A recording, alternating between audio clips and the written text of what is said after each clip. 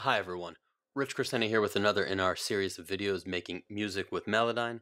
And today we're going to have another in our mini series within there focusing on Pro Tools and Melodyne Essential. Pro Tools and Pro Tools Ultimate are now bundled with Melodyne Essential.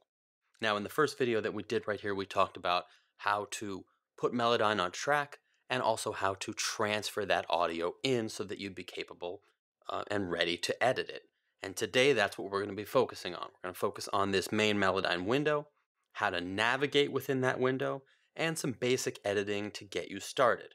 So let's dive right in and take a look at this window right here, right? We're looking at our lead vocal track. This is the one I have selected. And as you can see right here, there's a, a grid, both vertical and horizontal grids. And we're going to talk about those in a minute. I want to talk about how to navigate around and see the whole song right here. So First up, on my mouse, I have a scroll wheel. So with a scroll wheel, you can scroll up and down to change what you're seeing right here. If you hold down Shift, you can scroll side to side in the timeline. Now, if you don't have a scroll wheel, there's a couple of other ways that you can do this, or you might prefer to scroll in a different way. First up is along the bottom, we have a menu that shows the waveform for the whole song right there. And there's this gray bar. So you can grab this gray bar and move through and change what we're focusing on. That allows you to navigate by scrolling. We can also zoom horizontally that way, in and out. On the right hand side, we have the exact same thing, except this deals with our vertical orientation, which regards or relates to pitch.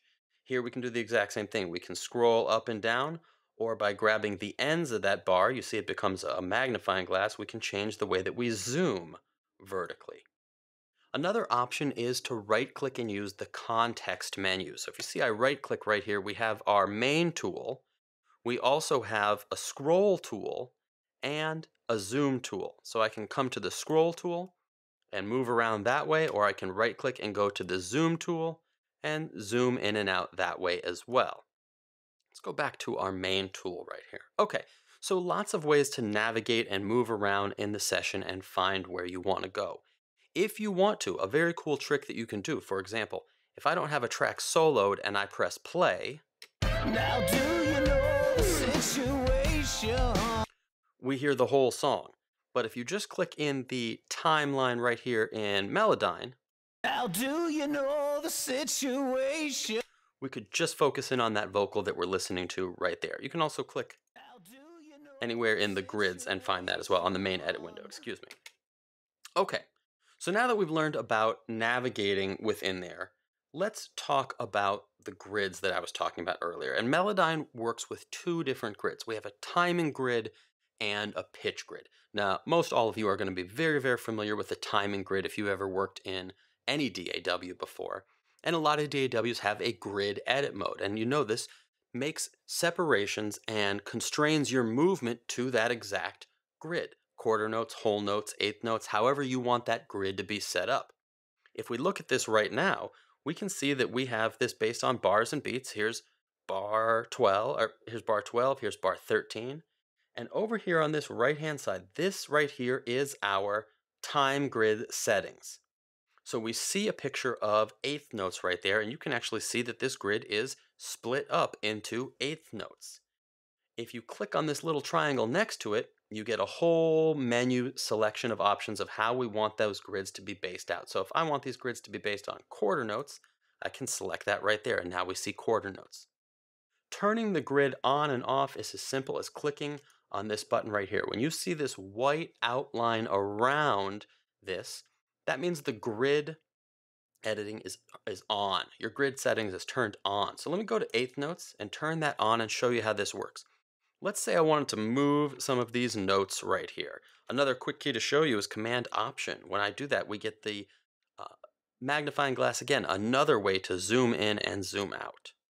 So let me select all of these notes, and if I grab these notes and try and move them, you'll notice they're moving in terms of the grid. That's because we have this grid setting on right there. If I turn this grid off, I can now move those notes and just gently coax them wherever I want that to go. A pro tip for this is that if you have the grid settings turned on, you can use the Alt or Option button to temporarily override. So even though I have grid turned on by holding down Option, I can move just a little bit right there. Very, very useful stuff. Okay. The same thing holds true with stretching in between two notes, right? You'll notice this note right here, he swings up into a different note right there. So if I come to my timing tool, which I'll, i want to point out for a minute how these editing tools work, right? If I hover over the center of this note, this is what we call a blob in Melodyne. If I hover over the center of it, we get the main tool. If I go towards the beginning or towards the end, we get our timing tool. If I go up into the top portion, we get our note separation tool. I'm going to come back to that in just a little bit. So let's come over here to my timing tool, and you'll notice that I can change that, but it's according to the grid right there. The way these notes move is because of what's called a soft separation between them. And this is for done for specific reasons. There's no way that in a, in a natural vocal performance two notes would overlap. So if I change the timing of the note, it will change the timing of the note before it, or in some cases, the note after it as well. So this is done on purpose. This is called a soft separation, and later on I'll go in how to change that if you want to. But I want to understand that, that timing follows that grid as well. However, we can still hold down Option and temporarily override that if you want to change this phrasing a little bit. Okay, that covers our timing grid. Now let's move over here and take a look at our pitch grid. Much like the timing grid, this is a grid but just for pitch, not for timing. And it's the same idea. When the white outline is around the clef right there, that grid setting is on. So let's take a look at this menu. This menu has two controls right here. Snap, which I'm going to come back to in just a moment, but also this background section right here. This background is how these notes are displayed. So for example, if I set it to keyboard, it looks like a piano keyboard. White notes are white, and the gray notes represent the black keys on a keyboard. If I switch to key, then you'll see this key of this song is G major. We will now see the white notes are the notes that are in the key of G major. These gray notes are notes that are not in that key. We can also switch to chord, which shows you the various chord maps based on there and what notes would be in that chord that's played at that moment. We can look at chord scale, which takes into account both the key and the chord scale. And then we can look at pitch lines, which instead of giving you an overall sense of the note, this gives you a line exactly in the center of that note. Just another way to look at it right there. All right, so let's go back to key for a moment, uh, being in the key of G major right here. And I want to talk about moving these notes. Now, this pitch grid is on right here. If I turn this off, I can move this note just up or down a little bit as we see fit. Maybe you want to hear that note while you're changing it, so let's take a look right here at this options menu. This options menu has a lot of different ways to change how the information is displayed, but also want to ch change how it's heard. When you see monitor when editing blobs, if I turn that on, when I try and change a note, we hear that note as it's changing. Now, I don't want that on right now, so I'm going to turn that back off. Okay, now we don't have this grid on, so for a moment, I want to talk about snap, which is when the grid is on, and I'm going to go to chromatic snap. So you can set your chromatic snap, uh, you can set your snap to chromatic or to the background snap. For example, we are in key, so this is key snap. If we had this set to chord, we would have the option of chord snap, that snap would pertain to the background rules that we've set right there. I want to go back to key and I want to set this to chromatic snap to show you how this works. Now chromatic snap is going to be based around half steps. Okay, so if I grab this note right here and move it up, you'll notice it only moves up in half steps at a time. I want to point out also that you'll see it didn't move exactly to the note because it wasn't exactly on the note to begin with. So if you want to move it to the note, the fastest way to do this is double click. If I double click on this, it goes to this note, and now we can go exactly by half steps and go exactly to a note each time. The same thing holds true with option right here where I can click on it and just gently go up or down a little bit.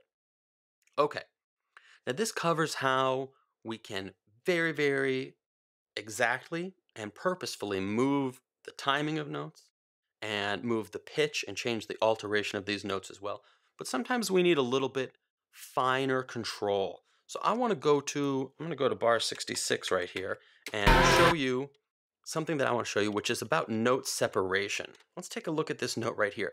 Now, earlier I mentioned these are called blobs.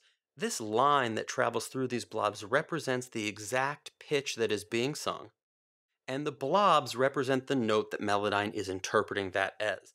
Right? For example, a lot of these swing up and down, but Melodyne will look at this note and say, this note right here is actually a G. So even though it's swinging up and down a little bit, that's a G they're trying to sing right there. Okay. So now sometimes I, if I see a swing up like this, I might want a little bit finer control over it. Let's give this a listen. Here, really swing up into that B, that word B right there. To get a little bit finer control, I may want to separate these. So again, if you hover over the note, in the top portion, you get the separation tool. So where I see that note really start to swing up right there, I can double click and it swings up to this note right here. And now I see it swing up again after that. I may decide to do another separation right there. And it pops up there. Okay. So now I can double click on that and move that to the note I want. Double click there, double click there, and double click there. And now we get the same swing up, but now it's swinging exactly to the notes that are in the key of that song right there, the way I want that to behave. Okay, great. I'm going to show you guys something really cool right here, which is great for dealing with vibrato inside of this. Now, for vibrato, we're going to do something a little different right here. I'm going to click on this note and you'll see this. And this is where I'm going to introduce you to something new that is called note assignment mode. When you see this blob selected right here, this is our edit window. And this is where we go in to make all of our editing changes. But there's also a mode that's called Note Assignment Mode. And Note Assignment Mode is where you tell Melodyne how to interpret the data that's in there. So if you're ever having a problem, something isn't quite sounding right, something is a little off, or you want to change the way that Melodyne understands this information, this is done in Note Assignment Mode. Let me give you a good example of this right here. We see the singer hitting this note, and then it drops down an octave and then goes back up to here, you'll see this hollow point right there. This, because this is pretty gritty and there's a lot of gravelly singing right there, sometimes it makes it a little harder for Melodyne to determine the pitch. And it's saying this is an alternate position. It's saying it thinks it's this, but it could also be this one right here. Based off this vocal, the way it's around those notes, I think it actually should be this right here. So I think Melodyne is interpreting this incorrectly. So I can just double click on that and get that note in there perfectly. Okay, now what I wanted to show you in here was a feature that's called separate as trills, and this only works on notes that have a lot of vibrato like this one. But if you click on this, now inside our context menu, which is different in note assignment mode, I can right click and come over here to my note separation and we see separate notes as trills. Watch what this does. When you do this, this separates your vibrato into the parts where it swings up and the parts where it swings down, giving you really fine control over that. Now I can go back into my edit menu and let me zoom in a little to make this a little bit better right here, a little bit easier to see. I can now hover over all of this and let's say I want to add one, right? The command key allowed me to add a note to a selection or subtract it from there. I can take that and I'm going to turn my uh, pitch grid off. And I'm going to slide these up just a little bit and then double click on them. And that set those all to the exact same note. I'm going to select these and double click. Now we see we've got some vibrato, some that's in the note, in the key, and then some that's not. So now what I could do is very easily decide to take these top notes and these bottom notes, all the same right there. Once again, that's the command key. And I could slide these down so that they're all within that note Maybe I want to just take these top ones and then slide them down. And now what I've got is vibrato that is totally constrained exactly to that note right there. So we get... This gives you really nice exacting control over, on how far that note swings up and down. And it's really nice for vibrato, really, really great control over this. Okay, one more really nice pro tip that I want to show you that goes back into note assignment mode. Let's go back to the beginning of the song right. And I want to show you this right here. Sometimes we may want to move some notes. And because, again, because of the way that Melodyne works, it sees notes as being connected. And this way it stretches those notes. For example, let's say I select all of these notes right here. And then I'm going to turn off my timing grid. Let's say I move these notes, right? You'll notice it's stretching them out right there, and it's not really moving them. And that's because they're all selected, but also because of this, this separation right here. This is a soft separation, so it's seeing all these together. If I wanted to just move these, right, what I need to go do is go into note assignment mode and come to this separation right here. Come to my context menu and choose separation type tool.